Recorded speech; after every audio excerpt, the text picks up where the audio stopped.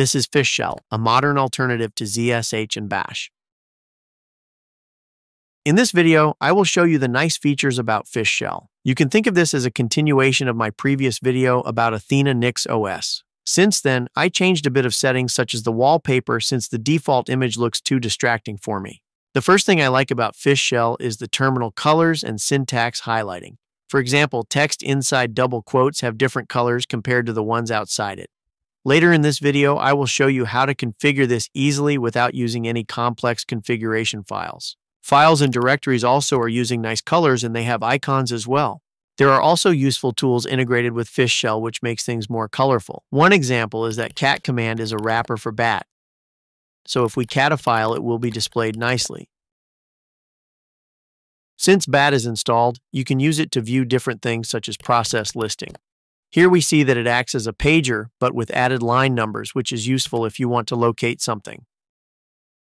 The colors are also integrated with syntax highlighting. For example, command completions nicely shows you suggestions. If we try to run a wrong or non-existent command, it will be highlighted with red.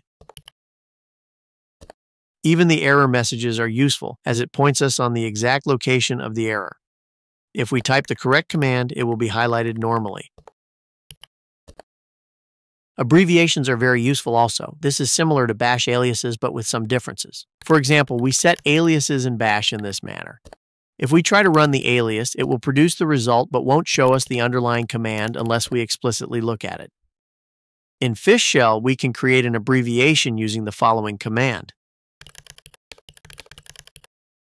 Then when we run it, the abbreviation will be automatically expanded. This may be a small difference, but for some reasons I like it better than bash alias. Abbreviations can do more than that. For example, here is an abbreviation that will treat L as a placeholder for any command before piping to less. If we type L and hit enter, we see that it was expanded to a chain of commands. Our cursor position was automatically placed on the left side. From here, we can perform any command such as opening large files. Do note that you can use this with any command and any number of pipes. This feature of abbreviations is really useful, especially if you have long commands and you want to change a part of it before running. Another difference between Fish and Bash shell is the way on how to set variables. In Bash, we set it in this manner.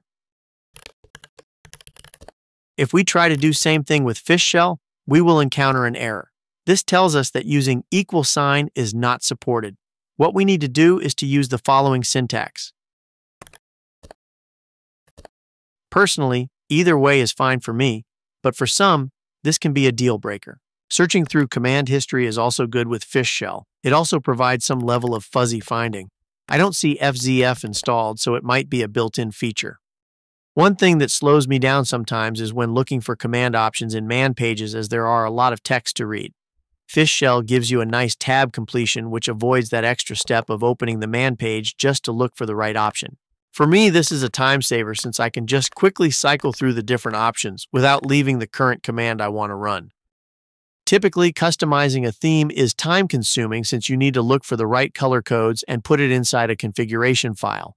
Fish Shell gives you a very easy way to configure the theme. To do that, we run fish config and it will bring up a web page. Inside this, we can choose from a variety of options. If we want to customize it further, we can just click the parts we want to change and choose the color we want. Same thing with the fish shell prompt. Using same web page, we can choose from different options.